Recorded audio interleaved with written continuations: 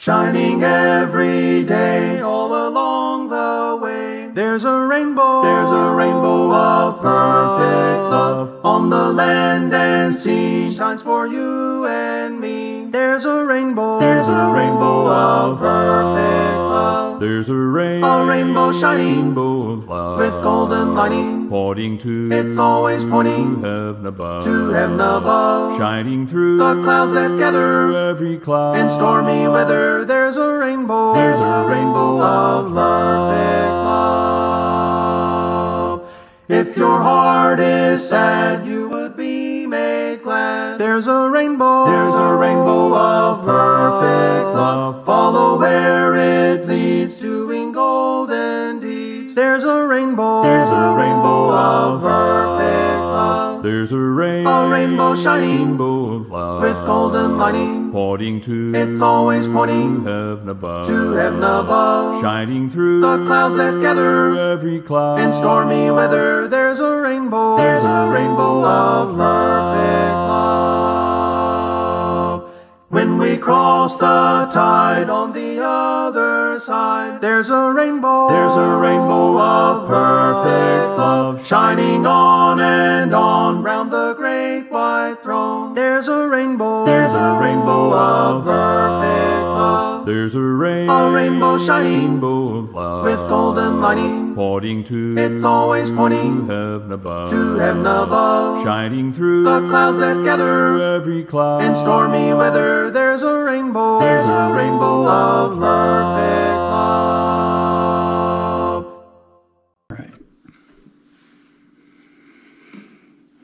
Again, lesson 83, the mission return of the 70, uh, probably uh, after the uh, Feast of Tabernacles and entering into the uh, Feast of Dedication somewhere along that time frame. De- The Feast of Dedication, of course, is what uh, we think of as Hanukkah or what we know it as Hanukkah.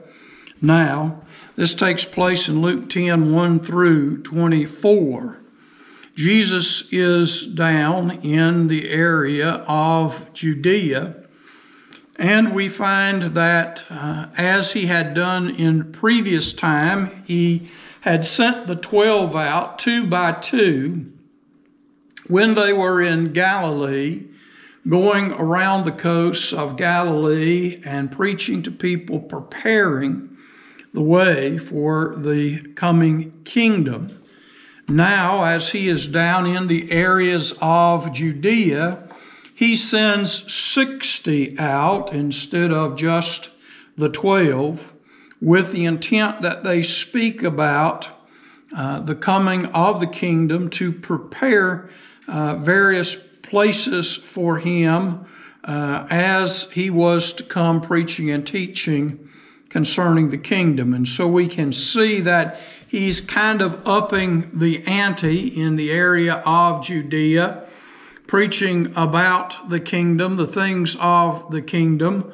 And we know, of course, from Acts, the first chapter, that the mission of the church would start in Jerusalem and then it would extend into Judea and then Samaria and to the uttermost parts of the earth. And so the area that Jesus is preparing here is the area of Judea closest to Jerusalem. Jerusalem was in the area of Judea.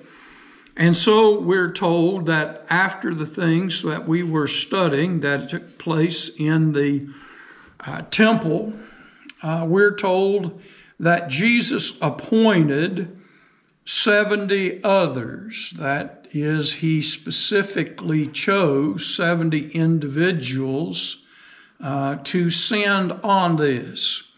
Uh, originally, there was the 12.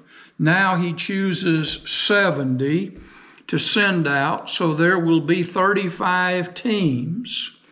Uh, in Galilee, there were six teams of two, and now there'll be uh, here 35 teams of individuals going about through Judea, building upon events that has just taken place with the healing uh, of the blind man and some of the things that they saw, the miracles and discussions, to build the faith of those who were hearing, those who were kind of still in trying to sit on the fence line, uh, those who could be uh, moved over into the favor of Jesus.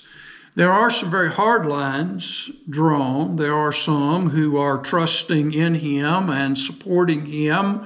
Uh, people like Mary and Lazarus and Martha uh, and others who are committed. At least 11 of the 12. We uh, don't know how dedicated Judas really was uh, to the whole process. But now there will be these who will go out two and two before his face in every city, place whether he himself was about to come. This will be, if you want to think of it, as advertisement. Uh, uh, it will be a proclamation, it will be a declaration that Jesus is in the process of coming to their city. Jesus is on his way. And as he is preparing to go, and as they are uh, going about, uh, they are bringing interest to that particular city to know, to look, to be prepared for the fact that Jesus was coming there. And he said unto them, The harvest indeed is plenteous, but the laborers are few. Pray therefore the Lord of harvest that he may send forth laborers into his harvest. Go your ways. Behold, I send you forth as lambs in the midst of wolves. Carry no purse or wallet, no shoes, and salute no man on the way. And into whatsoever house you shall enter, first say, Peace be to this house. And if a son of peace be there, your peace shall rest upon him. But if not, it shall return to you again.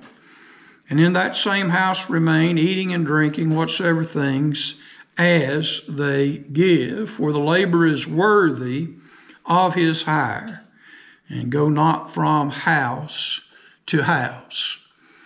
And so there's not a lot of instructions uh, as I read this, and because time is uh, running relatively short, it seems to me that Jesus sent these teams out to these perhaps 35 cities to let them know that Jesus was coming and to establish a point or a place of reference as they came into the city where he knew that they would be uh, on what we might call his side or would be open to giving him hospitality. And so he sends them all out, they all come back in, uh, and then it seems Jesus begins to make his trip. So it doesn't seem like they're going uh, these two teams are going through a lot of cities per se, but they're going into a city, they're preparing that city, and Jesus is going to come there later. And so I don't see him as uh, following them because it's kind of what you'd think of as a shotgun effect. Uh, they're just going out in every direction uh, 35 of them looking what appears to be uh, 35 places throughout Judea that uh, Jesus can visit and knows that while he's there, uh, he will be able to uh, find individuals who are interested in the things pertaining uh, to the kingdom of heaven.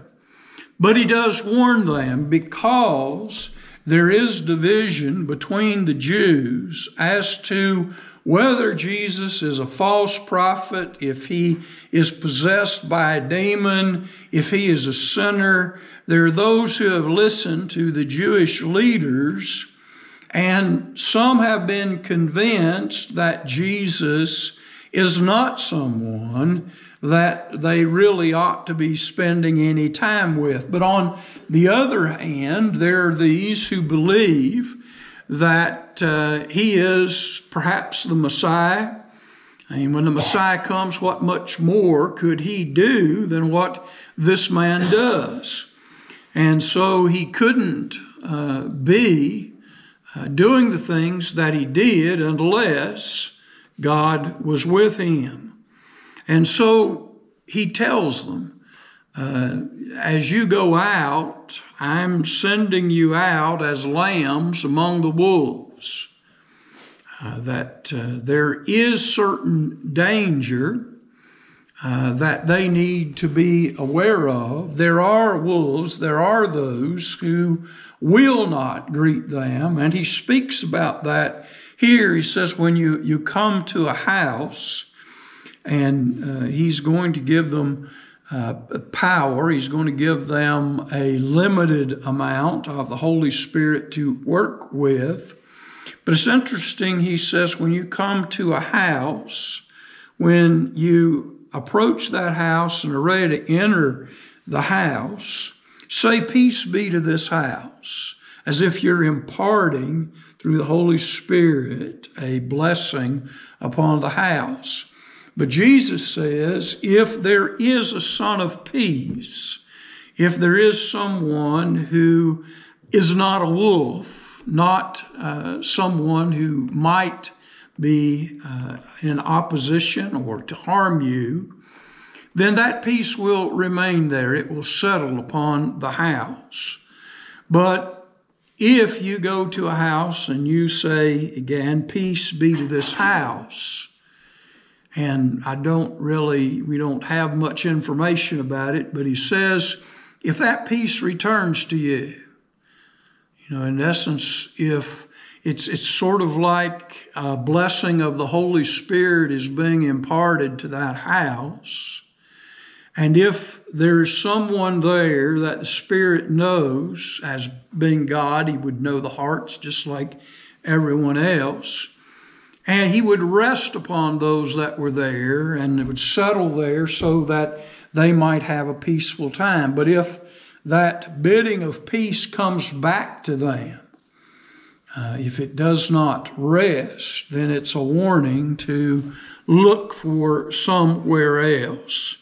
Uh, and so, as you go into this house, if they're uh, willing uh, to receive you, if they're willing to show you hospitality, uh, then enter to that house and remain there. And we've talked about that concept before. It doesn't do any good for the uh, leadership to be in a city and you not be able to find them.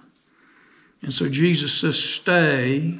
You know, when you offer peace and it rests on that house and they show you hospitality, enter into that house, and while you are there in that city, stay in that one place.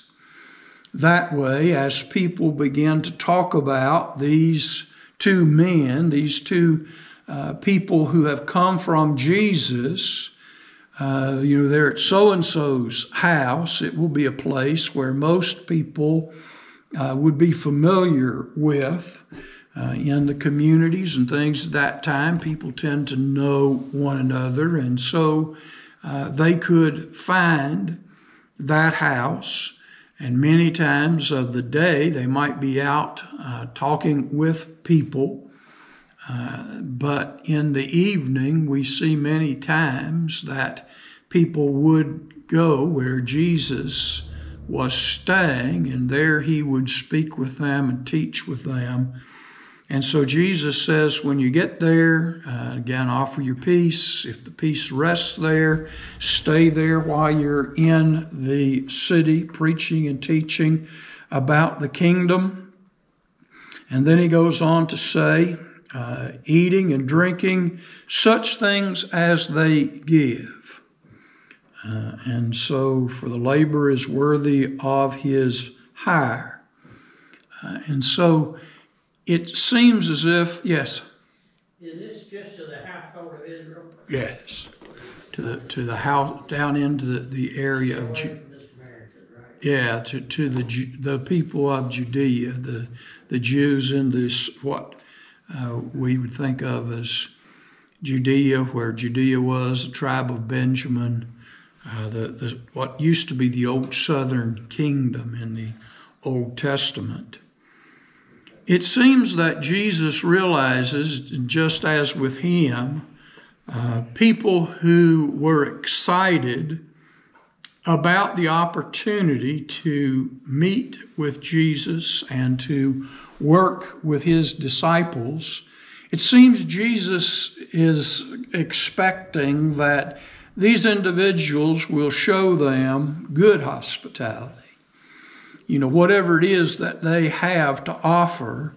But Jesus, uh, in talking about the labor is worthy of his hire, uh, seems to imply the fact that you know they might be willing to say you know well you know you don't you don't have to do that you don't have to do that you don't have to do that that they might somehow create a, a problem with the hospitality. Whatever's offered jesus says accept that. Um, and you know he speaks of them being worthy of the things that they are receiving. And as he says here, he talks about the fact that they weren't take, to take a purse and uh, they weren't to take a money bag, wallet, those things with them.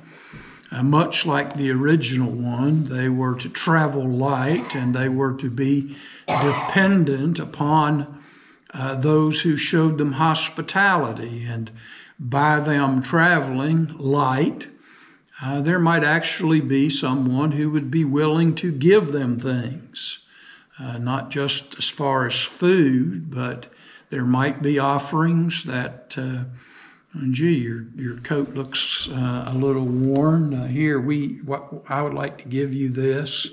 And so, between the food and there might be gifts and other things, whatever they present to you, whatever they give to you, accept that.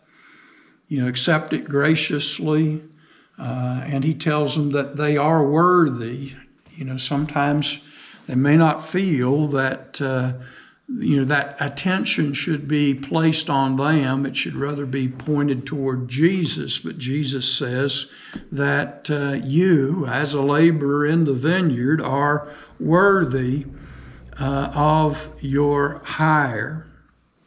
Uh, you know, we have, uh, and I have in times past run into uh, people in the church that believe that a preacher shouldn't be paid.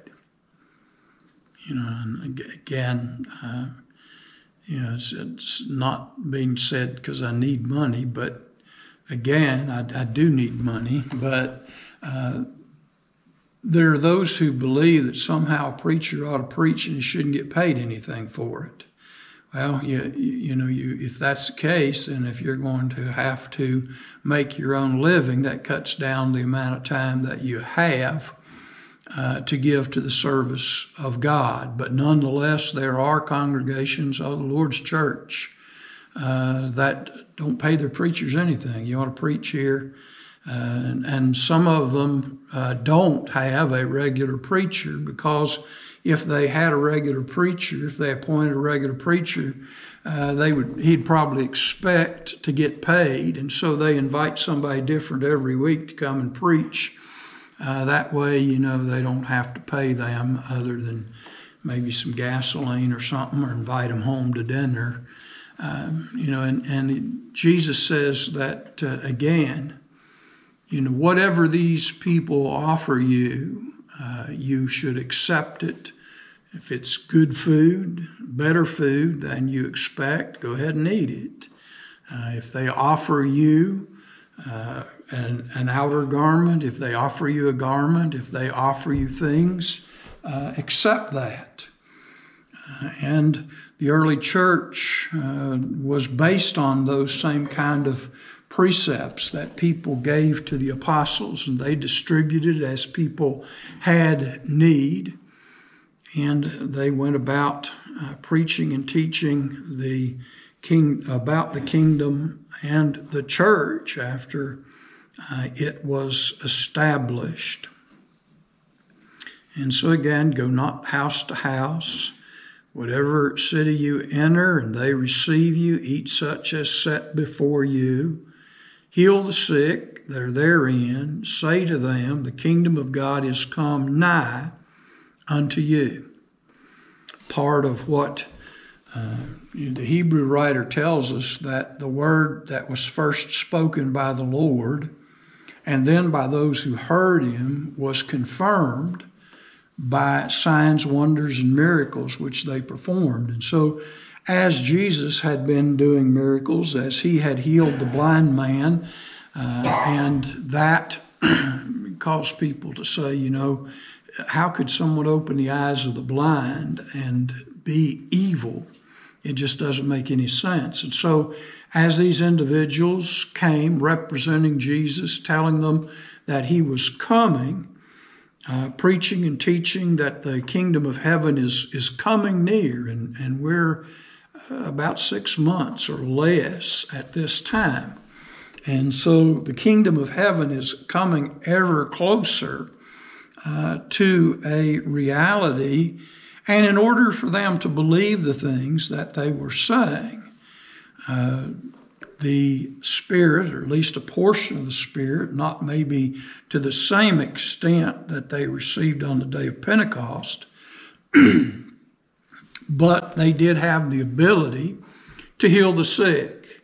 And so when people heard that disciples of Jesus were there in the city talking about Jesus coming, um, people would begin to gather up their sick and they would wait and be looking for Jesus to come. And even before Jesus shows up, the disciples are going to be healing them. And this is a way of confirming the word which was being taught. Any questions or comments down through there?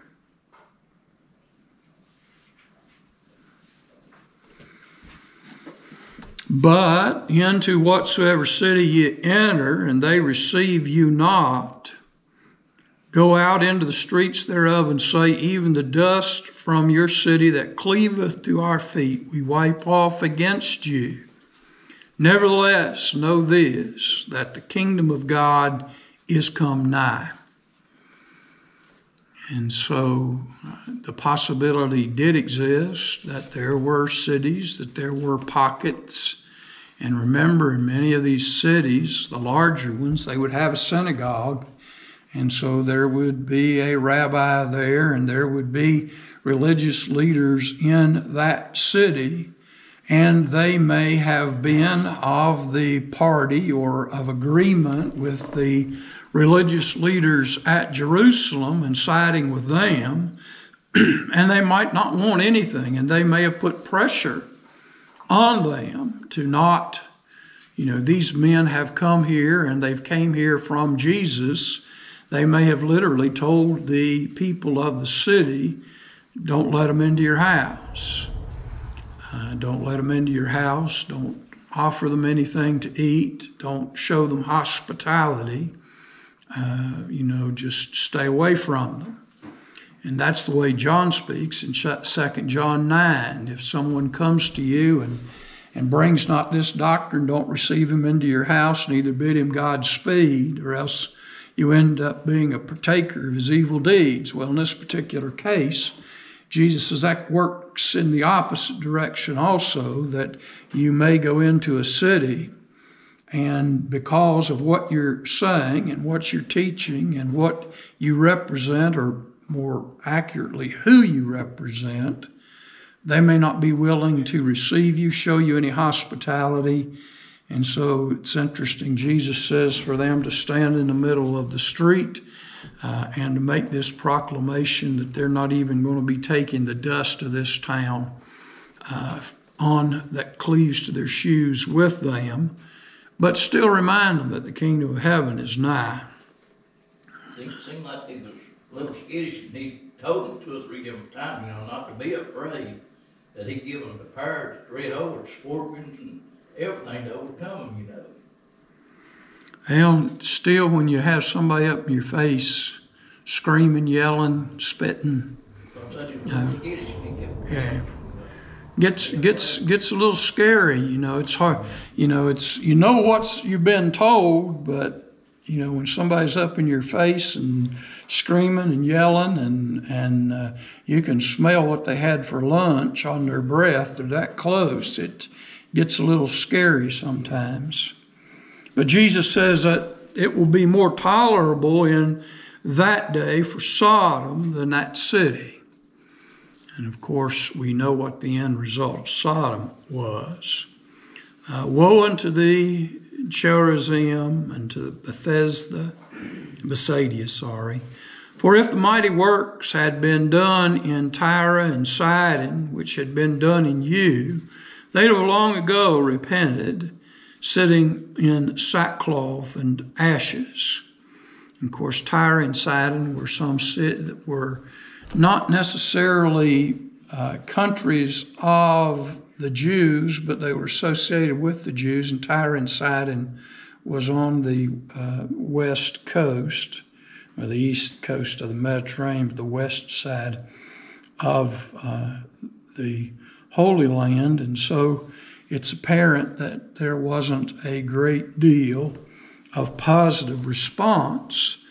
Uh, you know, and Capernaum shall, uh, even though they should be exalted into heaven, be brought down into Hades. And Jesus says, He that heareth you heareth me, he that rejecteth you rejecteth me, and he that rejecteth me rejecteth him that sent me. One of the things, whether it's today or whether it's then, sometimes we tend to take things personally when we talk to people about the church and they get upset about it or, uh, you know, and we want to take it personally as if it's a personal attack on us. Now, obviously, they're standing right there, and Jesus sent these people. And if they're standing in front of somebody, you know, that person's angry, that person is inhospitable toward them. But Jesus says, you know, don't let, you know, that get the best of you. You know, if they reject the things that you're saying, they're, they're not just rejecting you, but they're rejecting me because I'm the one that sent you. And if they in turn reject you and therefore reject me, they also reject him that sent me. And of course, that's the Father. And so we're back to that basic message of the gospel that we're supposed to go into all the world and preach the gospel to every creature. He that believeth and is baptized shall be saved, he that believeth not shall be condemned. And, and the point is, if they hear us, if they believe us, and they obey the gospel, good, wonderful, they, they're saved. But if they don't believe what we're saying, and if they don't do that, they're not just rejecting us. So many people in a church feel that I must make people believe, I must make people uh, obey the gospel. It's like the pressure's on my shoulders. I'm the one that has to make them do this. Jesus didn't say anything about making people do anything. He just tells us to go and teach and preach and proclaim. And it's up to them. If they obey, if they believe and, and obey the gospel, then good. And if not, it's not against you. It doesn't take anything away from you, but you know, it's it's their soul that's in jeopardy. They, they reject you, just wipe your feet and go to the next. Yeah. I mean, that's you made them an offer. You know, you made them an offer uh, of the gospel, but they're not willing to uh, accept it. Uh, so just move on. you know, we don't ever really want to fully give up on anybody. You know, the old saying is, as long as there's breath, there's hope. But if we get focused on one individual who's a very stubborn individual, and we focus all of our time on that individual, we miss the opportunity to speak with others who are perhaps more open to the things of the church. And so you can't let two or three people uh, become something that you commit yourself fully to at the expense of everybody else. And so Jesus says, Go and tell them. You know, give them the opportunity, but if they're not interested, move on. You know, maybe we'll come back have if we have an opportunity and, and we'll address this again with them at a later time, but move on. There's other people out there who still haven't heard. There's other people out there who will accept. And so sometimes you just have to move on. And that's what Jesus said. You come to a house and you say, Peace be to you. And the Holy Spirit sort of shakes his head and said, Not going to happen here. Jesus said, Then move on you know, and move on to, to the next house. And if they reject you, they're not just rejecting the things that you're saying. Remember, they're rejecting me and rejecting me, they're rejecting Him that sent me. and so they went out with that charter. They went out, uh, the 35 teams, to find a city, to stay there, to preach, heal the sick, let them know that the kingdom of heaven was literally at hand. The kingdom of heaven was not far. And we're just talking about a matter of months. And if we're somewhere around what uh, we speak of as Hanukkah, if we're that far, the next holy day, the next special observance that the children of Israel will be having is Passover. And what happens on Passover? Jesus is crucified. And so there, there is this time and the next time that all the people of God are assembled back together in Jerusalem for the Passover and observing the Passover even in other places, that's when Jesus is going to the cross. So the kingdom of heaven really is nigh at hand. And so they go out as Jesus has charged them. And then we don't have a lot about, and actually don't have anything here about really what was going on at that time, other than uh, the 70 returned with joy, saying, Lord, even the demons are subject unto us in thy name. And so that tells me that there was, uh, there may have been some bad days and there may have been some glitches along the way, but each of them, the 70 returned, they had found a place uh, that the peace of God would rest upon and that they could teach about the kingdom, they could heal the sick, and they had the power to, uh, to uh, cast out demons. And they came back filled with joy because, you know, to them it was a very successful trip. They had preached the good news of the coming of the kingdom. They had healed the sick. They'd even cast out demons, and they were all excited about the fact that they were able to cast out demons. But Jesus makes a, a comment to them, and he says, I beheld Satan fallen as lightning from heaven. Behold, I have given to you authority to tread upon serpents, scorpions, and over all the power of the enemy, and nothing shall in any wise hurt you. Uh, there is two different ways of interpreting verse 18. Some say verse 18 is a warning to the disciples not to be filled with pride, don't become prideful that the demons are now subject to you. Don't get all puffed up at this. Uh, and when he says he beheld Satan as lightning falling from heaven, uh, that is a warning of the demise of the devil because of his pride and prideful nature that he rebelled against God.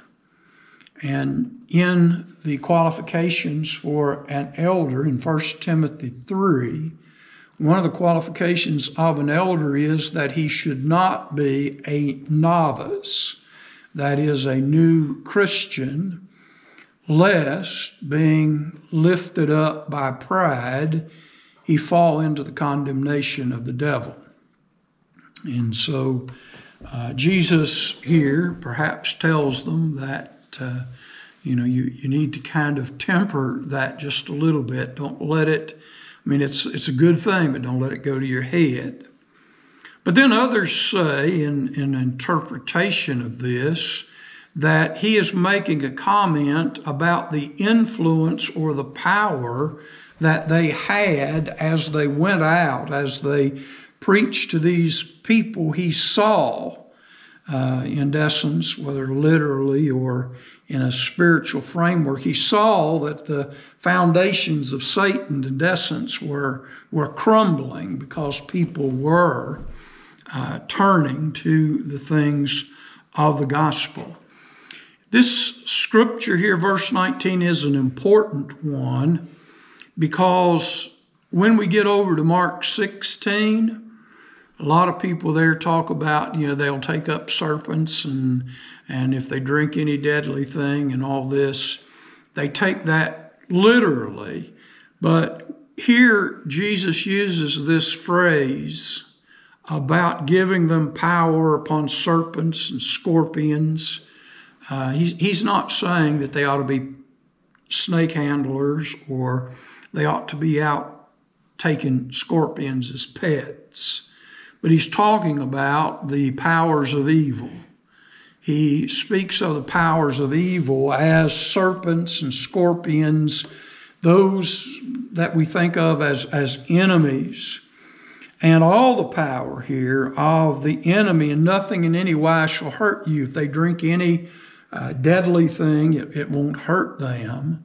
These are the, is a parallel passage to what Jesus says when he says, Go into all the world, preach the gospel to every creature. He that believeth and baptized shall be saved. He that believeth not shall be damned. And these signs shall follow them that believe, and in my name they shall take up serpents, and if they drink any deadly thing. And so it's the exact same thing. He gave them a charter. They went out and they did it. In closing this evening, we wish to thank you again for spending your time and study with us. We hope the lesson has been uplifting and motivational. We encourage you to return again for our next lesson. Until then, may we invite you to visit our website. You will find many study opportunities. Our resource page has links to the Gospel Broadcasting Network, a 24-7 station with many great Christian programs and speakers. In Search of the Lord's Way, with Brother Phil Sanders. We have two links for Bibles and downloadable software. If you are looking to really expand your knowledge, perhaps you might like to try World Video Bible School, a college level learning site free of charge. So, until next time, may God bless and keep you in His care as we walk together in His truth.